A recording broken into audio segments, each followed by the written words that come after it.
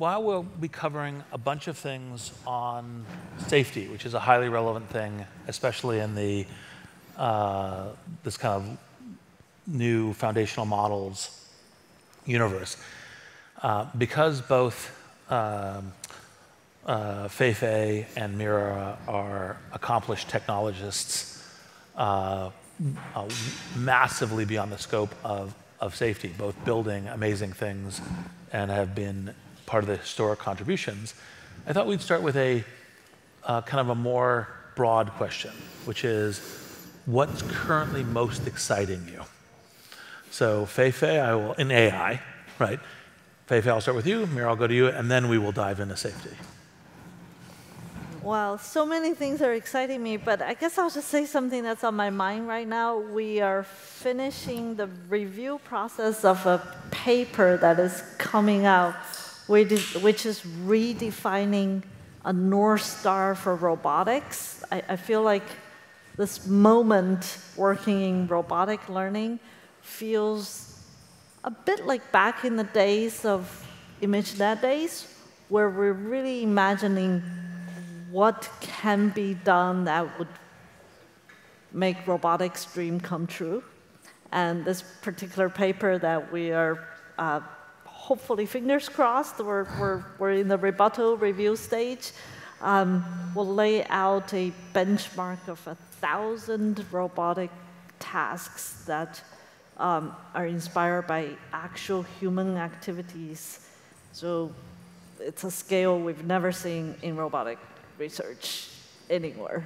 Can, uh, is it is it too much of a of a presage to say what like one or two of the most interesting of those tasks are?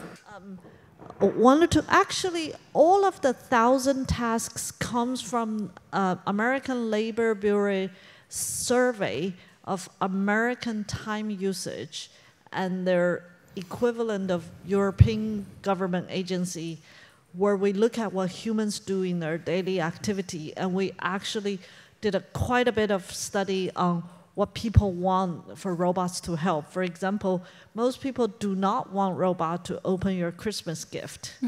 Apparently, we still want to do that ourselves, but almost everybody want the robot to clean the toilet.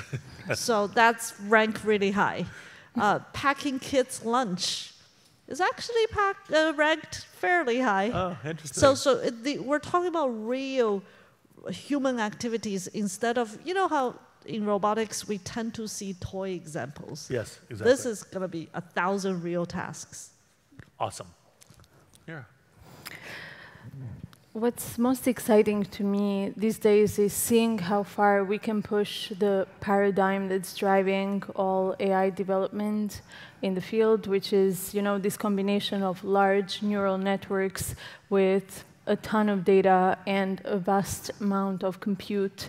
And in the past few years, we've seen this formula drive a ton of progress in AI research. We saw that with GPT-3, and then again with Codex and the first generation of DALL-E. So uh, from OpenAI's perspective, we're trying to build these general systems that can think of the world in a similar way that humans do. So systems that have kind of a robust concept of the world. Um, so if an AI system sees an avocado or uh, reads the word avocado, the concept that gets triggered is exactly the same. And it's exciting to see that we've got systems that you know, have uh, mm, achieved some sort of linguistic competency and understanding of visual concepts. Um, and, and we'll continue to push this paradigm ahead. So let's shift to safety, um, because both of your organizations, in different ways, are uh, kind of some of the most important industry leaders on what uh, we encounter with thinking about AI safety. And so, um, so uh, Mira, why don't we start with you, just so we mix it up a little bit, not always go in this order, but we'll vary. Um, say a little bit about uh, OpenAI's approach, what kind of being this kind of novel organization organized around a 501c3 and organizations like this, how what you're trying to do to identify what safety is and how to create those norms both in your own action but also catalyzing other industry? As you know, our mission is to build a general system and figure out how to deploy that beneficially to the world. And you know, they're just one word, but beneficially. But figuring out how to robustly do that is actually an immense challenge. Um, it's hard to predict the future. It is hard to predict all the ways in which these systems might uh, create mm, harmful biases or other risks that we can't even imagine. But at the very least, we can uh, try to get as much understanding as possible, uh, gather as much knowledge as possible, and leave the options open. And that's OpenAI's strategy. We are trying to deploy these systems continuously, but in a controlled way. Uh, that means an API. So GPT-3 was first deployed through an API to a small group of users, and then eventually we broadened up access as we understood how to get a good handle on the risks. Um, but I think it's really hard, and that's why that's actually part of the reason why we decided to deploy GPT-3. Because if you are in the research lab, you may think, this is going to be the most prominent risk based on what we see. But when the model comes into contact with the real world, um, that gets tested. And we found out in several, uh, several times that we've deployed that we were wrong and the most prominent risk was something else. For example, with GPT-3, we were convinced that misinformation was going to be the, the most important risk. And it is very important, but in practice, we saw that um, spam was actually a much bigger risk uh, that we had to focus on. And the same thing happened with DALL-E as well. So I think it's really important for these models to come in contact with real users, with the real world, and understand where the friction is, where the limitations are, and iteratively build in mitigations. And the mitigations we're building are not are probably not future-proof. Um, but it's, it's a place to start, and it gives us enough knowledge of where to go. Um, but at the same time, we need to think about um, how the complexity increases as the models become more and more capable.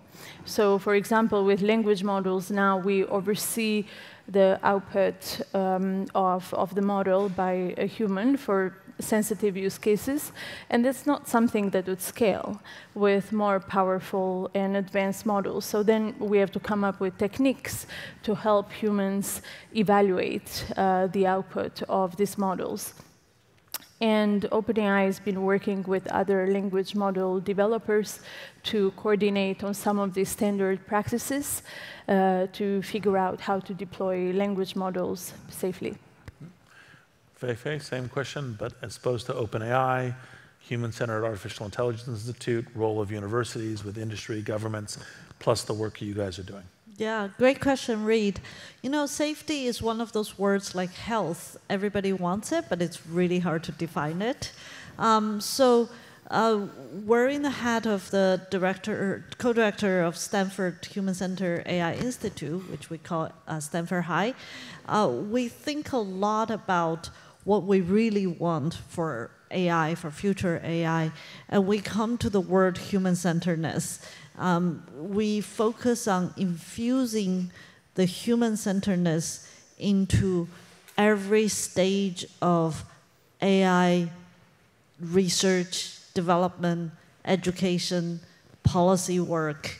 Uh, obviously, we're a university, so we don't deploy products, but we hope that what we would inspire as applications will have an impact in productization downstream. So, so AI is not one thing. AI, you know, designing AI system is, is, is really stages of uh, work decisions.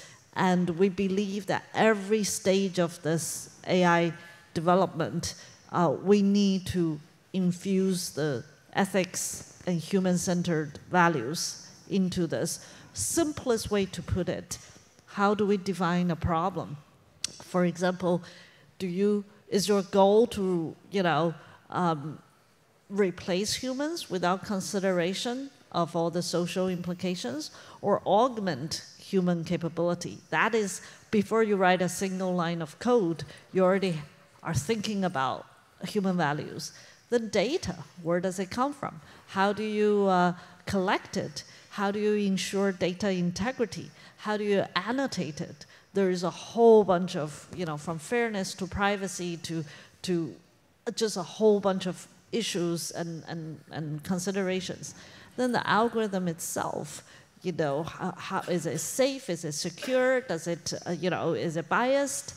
And then the decision making using the algorithm, the inference, the, the, the, the, the human, how does it assist the humans or, or, or um, you know, in other for, inform the humans. So every stage of AI development is, uh, needs human consideration and Stanford HAI is really trying to um, embody that process.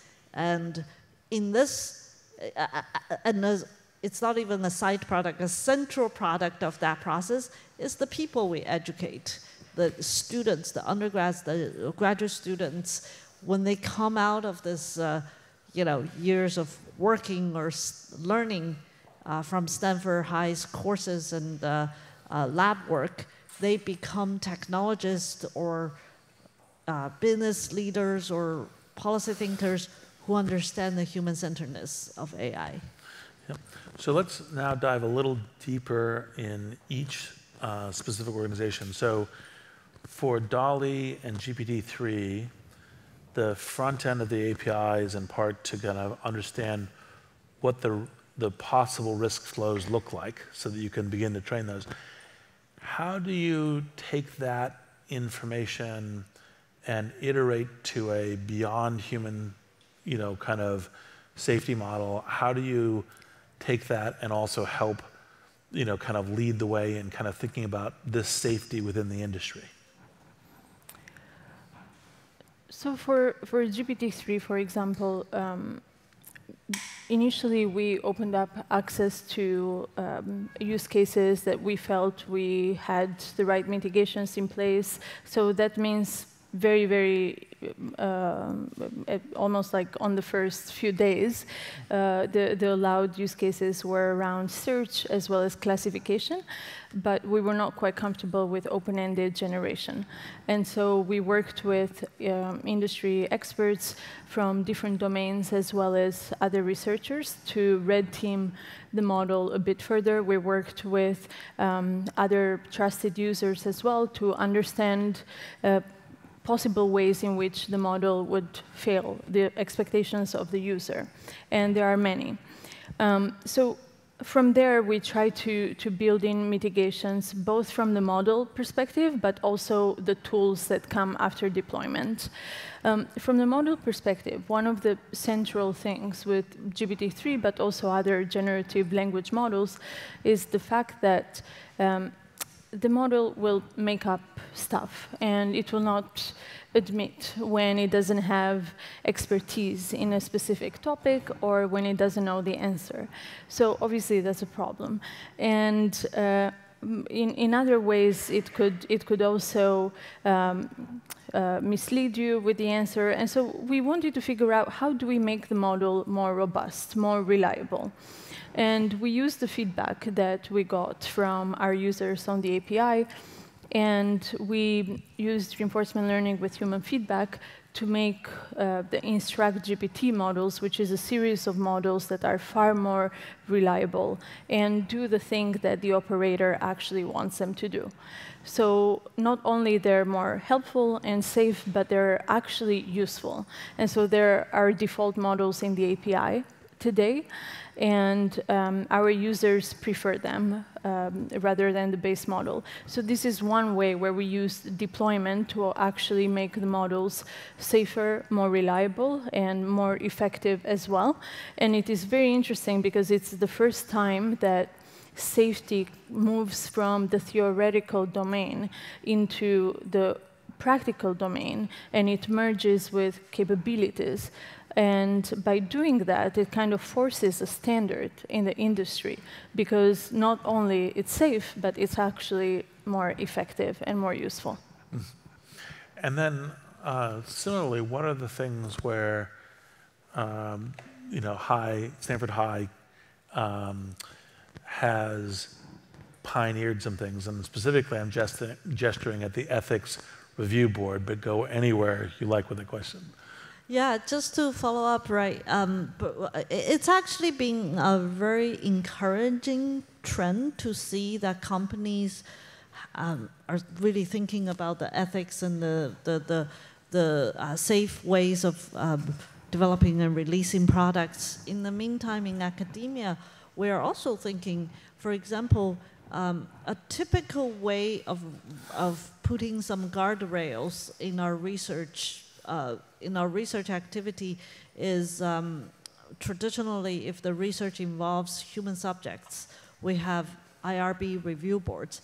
This has been critical across academia in US universities and also international um, uh, universities that a lot of medical research and human subject related research gets reviewed by a board of expert uh, um, um, faculty and, and so on. But when AI was is starting to, you know, um, become a really big chunk of university research, we don't have an equivalent of a IRB. You know, at the beginning it was okay, it's theoretical, it's just, you know, but very quickly we realized, wait a minute, um, you know, there's so many examples of AI research. For example, face recognition. You know, we, we see um, globally the biases and the harms of bias. So how do we, um, how do we put guardrails in the design of AI research and to ensure even the most technical researchers and students have in mind um, the ethics and the social impacts of their work. So at HAI, uh, one of our functions is to facilitate multidisciplinary research.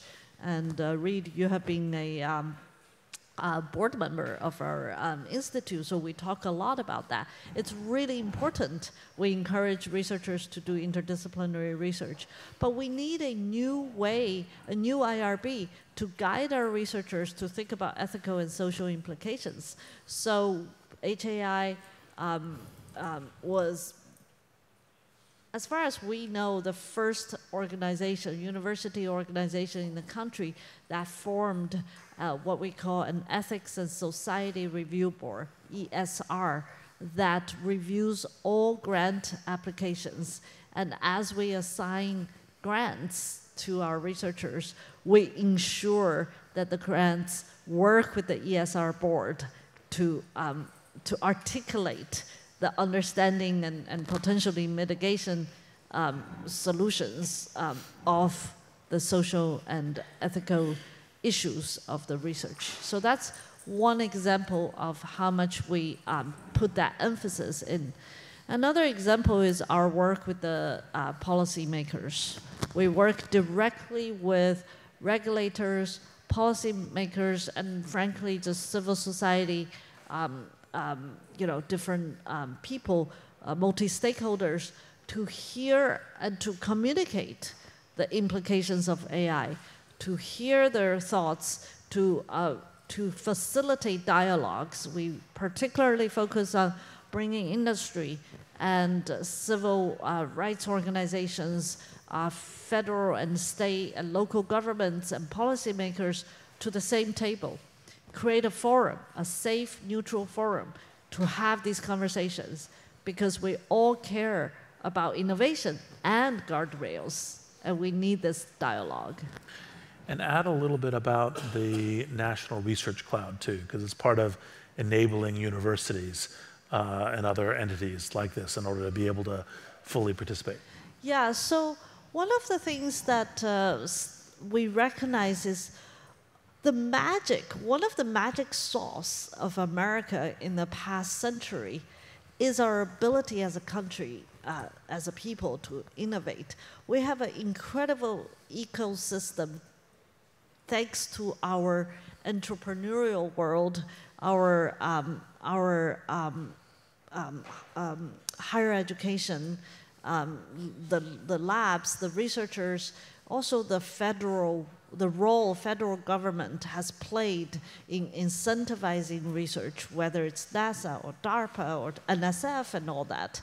But as AI took off in the past decade, what we observe uh, uh, is that the resources are quickly uh, concentrated in a few companies with compute and data and talent, the three critical resources for doing incredible AI innovation.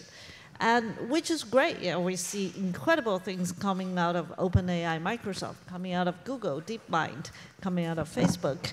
Uh, but that's not enough to lift the entire nation, to educate more AI talents, to you know, stand up um, in the face of uh, global competition. We need to ensure this ecosystem remains healthy so that it's not just concentrated in, in, in industry per se. And right now, under Biden administration, the White House and the, the, the Congress have mandated um, a task force study group, a 12-person task force, to figure out what this national research cloud would look like. Um, I'm actually one of the members of this task force, along with other um, people from industry, uh, academia, and government.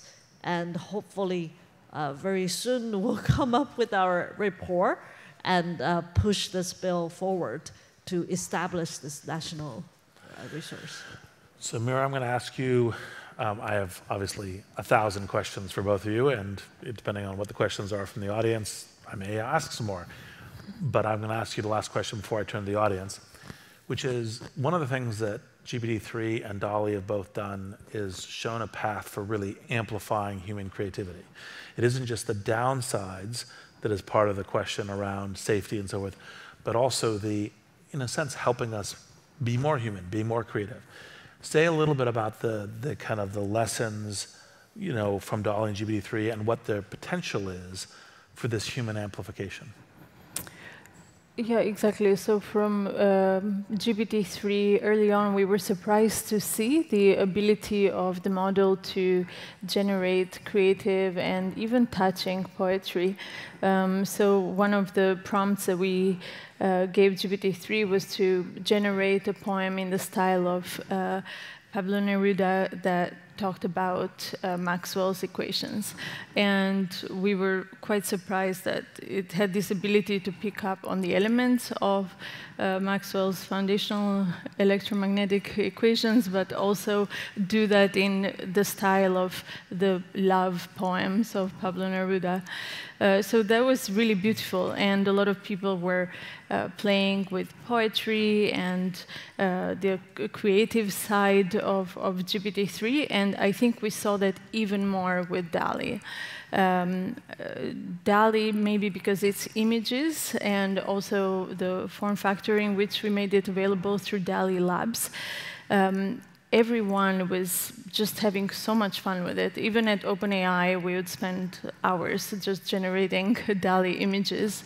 And this really just shows how technologies like DALL-E can democratize high quality creation um, of images and ideas and can push them so much further.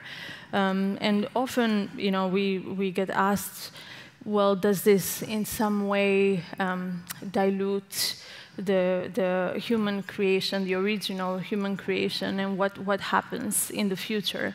Um, there is this almost instinctive human reaction to protect our own original creations.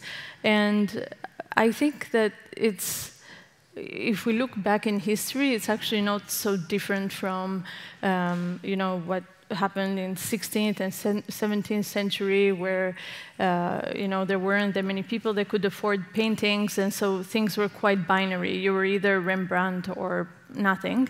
And uh, there wasn't so much of a nuanced appreciation. It was either a great painting or not.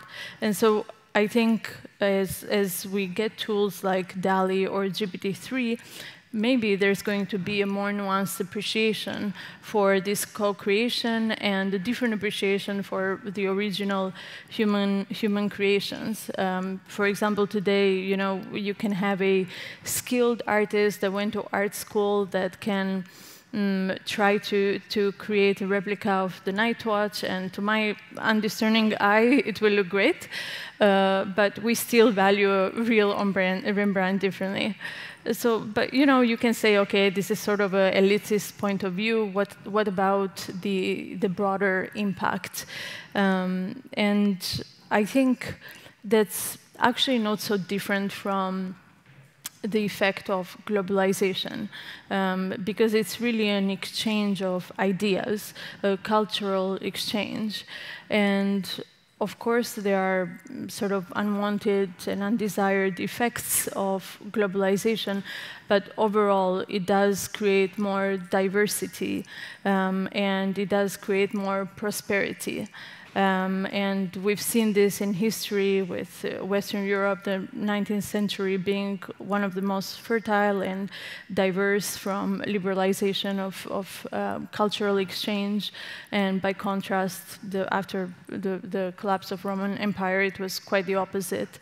Um, and, and so uh, there, there is actually an interesting book about this um, called uh, Creative Destruction that talks about uh, this perceived fear that human talent will be diluted in a way.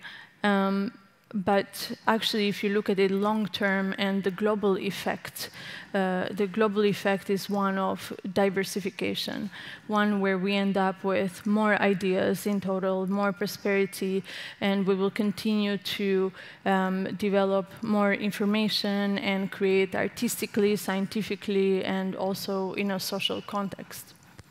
And I think we have time for one question from the audience. Um, I did also ask that last one because if you haven't had a chance to play with DALL-E and do your own printout, it's one of the things that OpenAI has helped provision us with. So it's a fun uh, experiment. Um, you know, just to the last point that you alluded to, um, you know, first it's very heartening the thoughtfulness and thoroughness of, you know, preempting and mitigating potential impact of launching some of these technologies. And I'm wondering, some of the effects cannot be simulated until you put that out there in the real world and probably at scale. So how do you think about, you know, the, the, the, the risks and issues at large scale societal effects and potential second order effects as well? Uh, and what do you think, you know, is the role that, that we as technology companies can play in that? And, and probably related to that is, you know, um, Feifei, you mentioned governing boards um, as an oversight. And I'm wondering how do you address the tension between the, the, the, process introduction and the pace of innovation? We were colleagues in Cloud AI, if you remember. We've had oversight boards internally, and you know things get slightly slowed down as a result of. Um, so, would love to hear your thoughts how, how you think about this. Oh, sorry. Actually, Mira, why don't you start?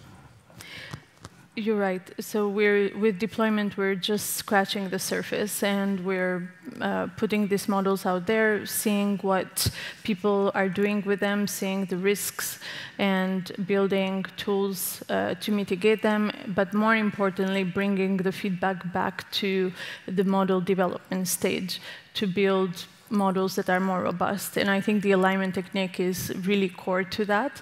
Um, but more broadly Uh, it's very important that we collectively are thinking about the governance systems of AI because obviously um, the, the developers of uh, these models need to be a diverse group of people, but even that is not enough. And we have to think about AI sort of like electricity. And so we have to think about the deployment and the governance of these systems more broadly in a, in a global setting and bring in input from all all different fields.